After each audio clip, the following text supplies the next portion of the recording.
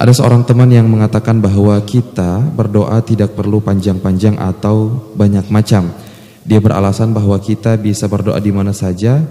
Doa itu intinya kita memohon ridho dari Allah. Dan jika Allah sudah ridho kepada kita, maka otomatis Allah akan memberkahi hidup kita. Bagaimana menyikapi hal ini Ustaz? Syukron. Ya, masing-masing orang tentu memiliki hak untuk berdoa kepada Allah Subhanahu wa taala dan doanya tersebut disesuaikan dengan kebutuhannya. Ya, karena Allah Subhanahu wa taala dan rasulnya memberikan kesempatan kepada setiap orang untuk menyampaikan setiap apa yang diinginkan dari Allah Subhanahu wa taala. Dan di dalam doa diperbolehkan bagi kita sekalian untuk merinci masalah Walaupun kita ketahui bahwasannya Allah Subhanahu wa taala mengetahui apa yang kita butuhkan dan apa yang kita inginkan. Ya, Allah Subhanahu wa taala lebih mengetahui tentang keadaan diri kita daripada diri kita sendiri. Oleh sebab itu apabila kita lihat doanya para nabi dan rasul kita dapatkan juga mereka mengungkapkan isi hati mereka walaupun mereka yakin bahwasannya Allah Subhanahu wa taala ya mengetahui akan hal itu. Ya kita lihat termasuk juga doa-doa dari Nabi kita Muhammad alaihi salatu wasalam juga demikian. Ya. Kita lihat kemarin doanya Nabi Musa alaihi salam ketika beliau mengatakan Robbi inni lima anzalta ilayya min khairin faqir. Salah satu kesimpulan disebutkan oleh sebagian mufassirun mereka mengatakan bahwa diperbolehkannya bagi kita untuk menjelaskan permasalahan yang kita hadapi sekalipun Allah tahu. Ya sehingga tidak mungkin kita sekalian mengharuskan kepada semua orang untuk ya untuk berdoa dengan satu redaksi dan sungguh juga itu akan membosankan. Misalnya kita minta saja keriduan kepada Allah Subhanahu wa taala, Allahumma inni as'aluka ridhoka. Sudah. Atau Allahumma inni as'aluka ridhoka wal jannah. Andaikan memang apabila kita mendapatkan keriduan Allah, kita mendapatkan surga, itu sudah cukup tapi apabila kita katakan kepada setiap orang tidak perlu doa yang lain, maka orang juga akan bosan juga berdoa.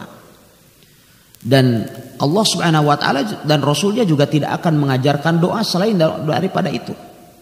Walaupun sesungguhnya apabila kita cukup bersolawat kepada Nabi saja, itu juga sudah cukup. Ada seorang sahabat datang kepada Nabi Shallallahu Alaihi Wasallam, ya Rasulullah, kam aj'alu kam aj'alu laka min salati alaik. Wahai Rasulullah berapa persen yang aku berikan kepadamu eh, dalam doaku? Atau atau berapa persen salawatku kepadamu di dalam doaku? Kata Rasulullah SAW terserah anda. Bagaimana wahai Rasulullah? Kata beliau kalau sepertiganya. Kata Rasulullah khair. Wa in zidta fahuwa kata Rasulullah in zidta fahuwa khair. Jikalau kamu tambah maka itu lebih baik. Sahabat tadi mengatakan kalau begitu saya jadikan setengahnya dari doa saya. Ya. Itu saya jadikan semuanya solawat kepada Nabi SAW. Katanya in zidta fahuwa khair. Rasulullah kemudian bersabda jikalau kamu menambahnya lebih daripada setengah maka itu lebih lebih baik.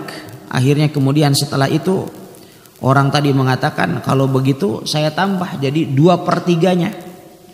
Ya maka Rasulullah Shallallahu Alaihi Wasallam kemudian beliau pun bersabda, inzita fahuwa khair. Jikalau apa namanya kamu tambah lagi maka itu adalah fahuwa khairun lak maka dia lebih baik bagimu.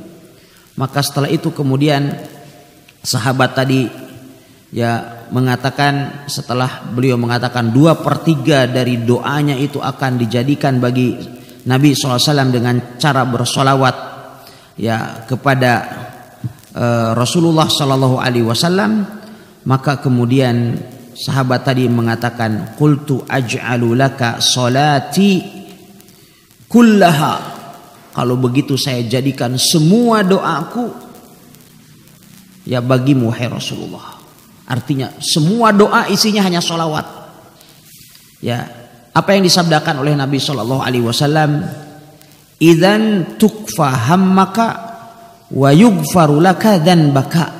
Kalau begitu Allah akan penuhi seluruh apa yang kamu inginkan dan Allah akan mengampuni dosamu.